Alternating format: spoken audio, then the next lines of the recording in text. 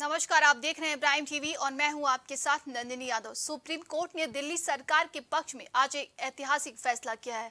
बता दें कि सुप्रीम कोर्ट की तरफ़ से आम आदमी पार्टी को आठ साल बाद दिल्ली में अफसरों के ट्रांसफ़र, पोस्टिंग के अधिकार को लेकर विवाद फैसला सुनाया है, जिसे लेकर आज लखनऊ के पार्टी कार्यालय पर प्रेस कॉन्फ्रेंस रखी गई। इस दौरान वैभव महेश्वरी और अंशु भट्ट ने इस मुद्दे पर प्राइम टीवी के संवाददाता से खास बातचीत की है।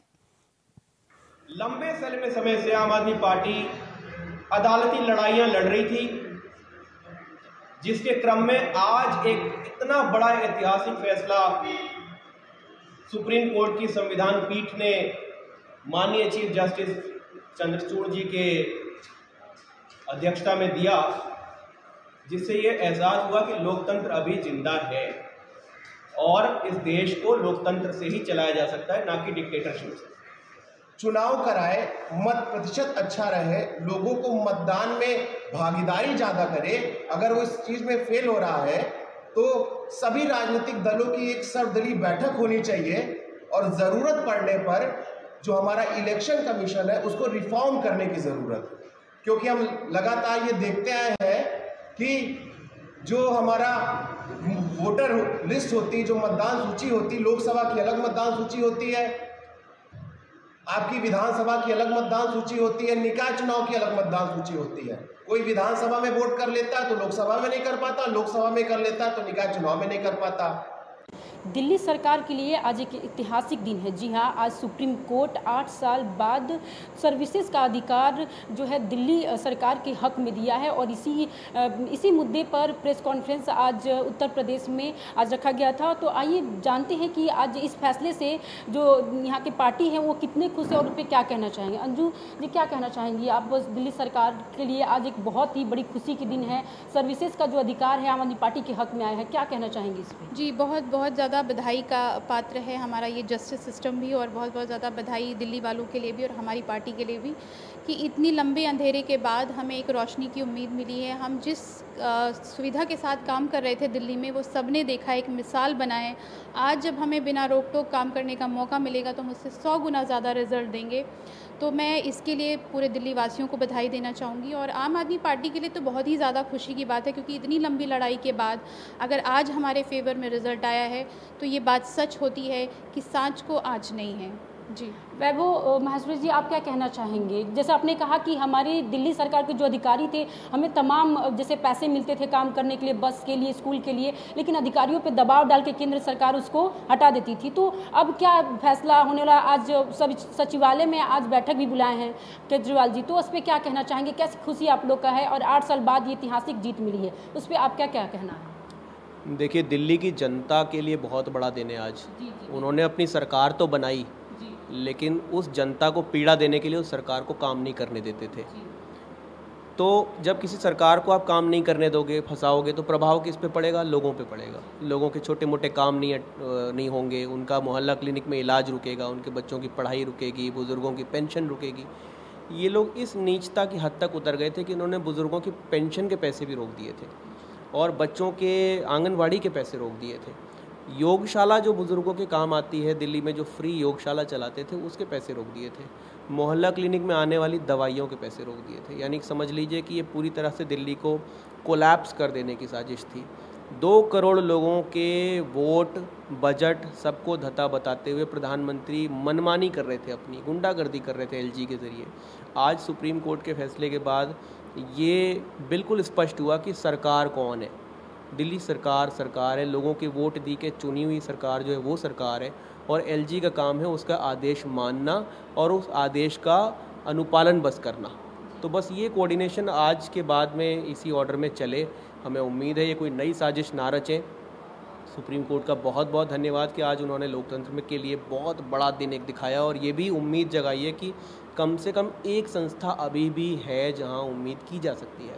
तो इसके लिए ही आज ये प्रेस वार्ता हमने की थी। जी आपने कहा कि हम वोट देने जिस दिन गए पहले चरण में तो आपको वोट देने से रोका गया। तो आप मेयर प्रत्याशी थी आपको उसी टाइम आपको उस पर कार्रवाई करना चाहिए निर्वाचन आयोग से जाके बात करना चाहिए उनके अब तमाम ऐसे चीज़ें कि आप खुद एक प्रत्याशी थी। जी बिल्कुल आ, मैं ये कहना चाहूँगी कि वोटिंग से मुझे रोका ज़रूर गया लेकिन मेरे मेयर प्रत्याशी बताने के बाद उन्होंने मुझे वोटिंग करा दी। तो वहाँ पे विवाद करने का कोई मुद्दा उठता नहीं है। साथ ही साथ मैं आपको बताना चाहूँगी कि चूँकि मैं मेयर प्रत्याशी हूँ तो जैसे मैं परेशान थी, वैसे ही सुबह से काफ़ी कॉल्स आ रही थी हर कोने कोने में लखनऊ से कि बहुत सारे लोग हैं, डेढ़ सौ, ढाई सौ लोगों की ऐसी ऐसी लिस्ट थी पुराने लखनऊ और गोमती नगर और शक्ति नगर कई जगहों पर कि वहाँ पे उनको, उनके नाम लिस्ट में होने के बावजूद उनको भेजा जा रहा है वापस। तो मेरी लड़ाई अपनी एक की छोड़ के उन डेढ़ सौ, ढाई सौ लोगों के लिए थी, जो ज़्यादा ज़रूरी था कि वो वोट कर पाएँ, क्योंकि वो सुबह से धूप में खड़े थे। तो मुझे वहाँ से तुरंत निकलना पड़ा, पुराने लखनऊ साइड में। कई जगह मैंने इंस्पेक्शन किया, हर जगह यही प्रॉब्लम्स आ रही थी। लोग बोल रहे थे कि हम पुराने जितने भी पड़े हैं इलेक्शंस मैंने सब में वोट किए हैं, लेकिन यहाँ पे नाम रोका जा रहा है। कारण पूछने पे वही सारे बहाने कि नाम परिवर्तित कर दिया है, अपवर्जित कर दिया है, कारण क्या है नहीं पता। तो ये मुद्दे उठाने में लेट इसलिए हो रहा था क्योंकि वो जो कार्रवाई हम चाह रहे थे कि हो जाए, वो लोग जो डेढ़ सौ, ढाई सौ लोग खड़े हैं, उनका वोट पड़ जाए, पहले वो ज़रूरी थे, मेरा मुद्दा उतना ज़रूरी नहीं था, इसलिए मुझे समय लगा इस चीज़ में। सर आप ये बताइए इस बार बहुत कम वोटिंग पड़ा जैसे 35 परसेंट लगभग बताया जा रहा है। तो इसका कारण क्या हो सकता है? क्योंकि पूरा इस बार निकाय चुनाव जो है लोकसभा की एक लिटमस पेपर की तरफ़ देखा जा रहा था। पूरी पार्टी जोरों शोर से निकाय चुनाव की तैयारी कर रही थी लेकिन इतना कम वोट ये कोई कोई भी इसका नहीं लगा सकता था कि इतना कम वोट पड़ेगा। क्या कारण हो सकता है? मेन मुद्दा बताइए। पूरी तरह धांधलेबाजी हो रही है। जी। चुनाव आयोग को भाजपा चुनाव आयोग कहा जाए तो ज़्यादा अच्छा रहेगा। भाजपा चुनाव आयोग है, भाजपा निर्वाचन आयोग है। चुनाव आयोग के जो अधिकारी हैं वो ये भूल गए हैं कि उनकी ड्यूटी लोकतंत्र के लिए है। वो कमल का फूल पकड़ के चल रहे हैं। उनको ये शर्म नहीं आती कि वोटर लिस्ट में नाम होने के बावजूद वो एक प्रत्याशी को लौटा रहे हैं। और मैं बड़ा देख के ताजुब में था कि वोटर लिस्ट में नाम नहीं है तो आदमी लौट गया, लेकिन दबाव बनाया तो नाम मिल गया। इसका मतलब लोकतंत्र मुझे अधिकार देता है वोट डालने का लेकिन मेरा अधिकार तो बाबू छीन के बैठा है, एक पन्ने में दबा के बैठा है, वो डिसाइड करेगा कि मैं नाम दे दूँगा तो ये वोट डाले ना डाले तो तमाशा हो रहा है। तो उससे, उसके खिलाफ और उस आदमी को किसने ये आदेश दिए? ये पूरी चेन के खिलाफ एफआईआर कायम करके इनको जेल के अंदर भेजा जाना चाहिए। इसमें अगर ज़रूरत पड़ी तो सीबीआई की जाँच करनी चाहिए। और ये वोटर लिस्ट क्या कर रखा है? निगम की वोटर लिस्ट अलग और असेंबली की अलग और ये सारे के सारे एक होने चाहिए। जब एक वोटर है तो ऐसा तो है नहीं कि निगम का वोट जो है कोई बांग्लादेशी आके डालता है और जो है विधायकी का चुनाव में कोई श्रीलंका वाला आके वोट डालता है। मैं ही नागरिक हूँ, मैं ही रहता हूँ, मुझे ही वोट डालने हैं, मुझे ही अपने प्रतिनिधि चुनने एक लिस्ट होनी चाहिए। सर सारी पार्टियों की यही है कि हमारे साथ धांधली किया गया। तो इस पर कार्रवाई क्यों नहीं की? बैठक क्यों नहीं बुलाया जा रहा? है इस पर अब बात क्यों नहीं किया जा रहा? है डरते हैं ना? जी। ये डरते हैं। जिस दिन कार्रवाई करेंगे तो खुद को जेल थोड़ी भेज देंगे। अपने आप को जेल भेजने के लिए कोई कार्रवाई नहीं करता। जिस दिन बीजेपी की किताब का एक भी पन्ना खोल दीजिए, क्राइम ही क्राइम, गड़बड़ गड़बड़, घोटाले घोटाले निकल के आ जाएँगे, खुद ही जेल चले जाएँगे। इसका तरीका यही है कि इनको हर तरफ़ से जो इन्होंने लोकतांत्रिक संस्थाओं को भी कमज़ोर कर दिया है तो दिल्ली में जो फैसले आए हैं ना तो कोर्ट से थोड़ी बहुत उम्मीदें जगी हैं। ये वोटर लिस्ट की धांधलेबाजी को लेकर हमें कोर्ट जाना पड़ा तो अदरवाइज़ हमें एफआईआर करानी पड़ी तो सीबीआई जाँच की मांग करनी पड़ी तो तो ये जो भी करना पड़ेगा वो करेंगे, अब जो बैठने वाले नहीं है। सर, आपने कहा कि घोटाले बहुत सारे जो बीजेपी सरकार में है, वहीं आपने कहा कि पढ़े लिखे सरकार को हाथ में देना चाहिए। लेकिन सर, पूरे ये, पूरा ये भारत जानना चाह रहा है कि जो 45 करोड़ का जो बातें, जो महल दिखाया जा रहा है, केजरीवाल जी का जो तो इस पर आप क्या कहना चाहेंगे? कि पूरा जनता जो है, वो कह रही है कि आम आदमी पार्टी है, आम आदमी है वो।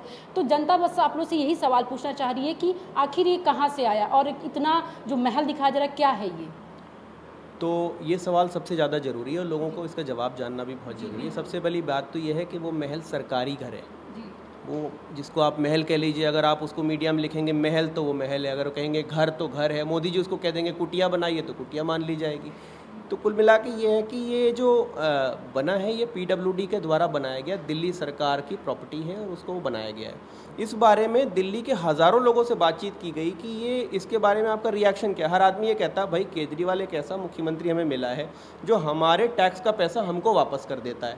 हमारी बिजली फ्री है, हमारा ये फ्री है, हमारा वो फ्री सब कुछ फ्री है। इस फैसिलिटी के बदले में हमें इसकी क्या दिलचस्पी होनी चाहिए कि उसके घर में कितना पैसा लग रहा है और क्या वो उस घर को लेके जाएँगे अपने साथ में? वो घर तो जब अगला मुख्यमंत्री अगर मैं तो कहता हूँ बीजेपी वाले हमको हरा दें अपने मुख्यमंत्री को उसमें रखें पैंतालीस करोड़ नहीं दो पैंतालीस हज़ार करोड़ का बना लें। लेकिन पब्लिक को पब्लिक का हक तो पहले दो उसके टैक्स की वापसी करो पैसे की। कहीं कोई घोटाला नहीं होना चाहिए। इसमें कहीं कोई घोटाला आया हो या कुछ आया हो तो आपने एक वैल्यू पकड़ लिया और उसके बाद चिल्ला रहे हैं पैंतालीस करोड़ का घर पैंतालीस करोड़ का घर। अरे आप कुछ पब्लिक को दो भी। जब कोविड में लोग मर रहे थे तो प्रधानमंत्री ने आठ हज़ार करोड़ का जहाज़ खरीदा था। जब कोविड में लोग मर रहे थे तो पैरासीटामोल हमारे पास नहीं था जा रहा है कि कोविड के समय से ही तैयार हो रहा है ये भी तो सर जनता देखिए, एक जो वो प्रॉपर्टी थी, उसका प्रॉब्लम ये था कि वो ब्रिटिशर्स टाइम का एक घर था, जिसकी छत के दो कमरों की छतें गिर चुकी थी, जिसमें केजरीवाल जी के पिताजी थे, एक बार उनके बिल्कुल पास में प्लास्टर गिरा। तो उस घर से उसको तमाम इंजीनियर्स ने बताया था कि अब ये घर रहने लायक नहीं है। उसका रेनोवेशन शुरू हुआ और दिल्ली के पीडब्ल्यू डिपार्टमेंट डी डिपार्टमेंट ने अपना जो ये सरकारी बंगला है, इसको रेनोवेट किया। इसी की कॉस्ट बताई जा रही है। दिस इज़ नथिंग पर्सनल अगर होता तो ये बीजेपी वाले अब तक दस एफ़ कर चुके होते और अब तक अरेस्ट कर चुके होते। मैम, आप एक मेयर प्रत्याशी हैं और उत्तर प्रदेश में अब ऐसी क्या समस्या है जिससे लेकर आप बदलना चाहेंगी और उसे आगे और बढ़ाना चाहिए, उसे बदलना से जैसे शिक्षा हो गया, यहाँ पे बिजली, पानी से तमाम ऐसी समस्याएँ आम जनता की है तो क्या क्या बदलना चाहेंगी इसमें जी मुझे तो लगता है कि उत्तर प्रदेश हो, चाहे लखनऊ हो, चाहे उत्तर प्रदेश के बाकी भी ज़िले हों, उनको टोटली रेनोवेशन की ज़रूरत है। 25 सालों में डिजिटलाइज बोल के अभी भी अगर नालियों में गंदगी में रहने को मजबूर है जनता तो मुझे लगता है कि हर एक चीज़ को बदलने की ज़रूरत है। सड़क हो, गड्ढे हो, आवारा पशु हो, अतिक्रमण हो, ट्रैफ़िक हो, भिक्षावृत्ति हो, चाहे आपके ये डार्क स्पॉट्स हो, महिलाओं के लिए सुरक्षा का कोई पॉइंट नहीं है, चाहे वो टॉयलेट्स पिंक टॉयलेट्स बनाए गए हैं, संचालित नहीं है वो। हमारे जो व्यापारी भाई हैं, उनके छोटे छोटे बाज़ारों के लिए कोई भी बाथरूम कोई भी पानी की व्यवस्था कुछ भी उपलब्ध नहीं है। और आपको जब भी सवाल पूछा जाता है कि क्यों नहीं है तो वो कहते हैं, हमारे एलएमसी में फ़ंड नहीं है। तो ये सारी चीज़ें होती क्यों हैं? क्योंकि भ्रष्टाचार से शुरू होती हैं तो ख़त्म भी हो जाते हैं, पैसे भी और बातें भी। तो पहले तो एलएमसी को भ्रष्टाचार से बाहर निकालना है, फिर जितनी भी ये सुविधाएँ जो हमने दिल्ली में रोल मॉडल के तौर पे दिखाया है, हम चाहते हैं कि लखनऊ भी उसी बेस पे बिल्कुल वैसे ही डिजिटलाइज और खूबसूरत बनाए, जैसे हमने दिल्ली बनाए हैं। सर, क्या लगता है निकाय चुनाव में आम आदमी पार्टी, सर, इस बार अच्छा प्रदर्शन या अपनी सरकार ला पाएगी? बहुत बहुत अच्छा प्रदर्शन करेगी। कई जगह पर आपको दिखाई पड़ेगा हमारे चेयरमैन सीटें निकलेंगी कई जगह पर आपको लगेगा हमारे वार्ड प्रतिनिधि चुने जाएँगे क्योंकि ये बिल्कुल माइक्रो लेवल का चुनाव है। बीजेपी कूड़े के ढेर पर बैठकर ये चुनाव लड़ रही है और ये कूड़े के ढेर उन्हीं के बनाए हुए हैं। हम उस कूड़े के ढेर की सफ़ाई की बात कर रहे हैं। कोई भी पब्लिक का आदमी ना कोई भी आम इंसान आप हो मैं हूँ कूड़े में रहना नहीं चाहता गंदगी में रहना नहीं चाहता। बीजेपी का तो कमल कीचड़ में ही खिलता है उन्हें तो बड़ा कंफर्टेबल है। कीचड़ी फैला रहे तो अपना चलता रहेगा। तो अच्छा रिस्पांस मिलेगा, हम मुद्दों पे लड़े हैं और मुद्दों का जवाब जनता ने वोट के दम पर हमें दिया होगा। हमें लगता है कि हमें अच्छा वोट मिलेगा। तो आपने देखा, ये थे हमारे साथ वैभव माहेश्वरी जी और जो मेयर प्रत्याशी अंजू भट्ट जी, उनका साफ़ तौर पर कहना है कि इस बार निकाय चुनाव में अच्छा प्रदर्शन हुआ है। कहीं ना कहीं हम अपना सरकार इस पर ला सकते हैं और तमाम ऐसी चीज़ें हैं जिसमें हम बदलाव करेंगे, उसे रिनोवेट करेंगे। वहीं आज आम आदमी पार्टी के लिए ऐतिहासिक दिन है, जो सर्विसेज़ का पूरा, जो उनका हक जो है, जो सुप्रीम कोर्ट उनके साथ फैसला सुनाया है। तो इसके लिए आम आदमी पार्टी का आज बहुत ही महत्वपूर्ण दिन है। कैमरामैन अरविंद के साथ सुहानी सिंह प्राइम टीवी लखनऊ। तो इस खबर में बस इतना ही। देश दुनिया की तमाम खबरों के लिए देखते रहिए प्राइम टीवी। कुछ भाव पुष्प। आप देख रहे हैं प्राइम टीवी सच साहस सरोकार।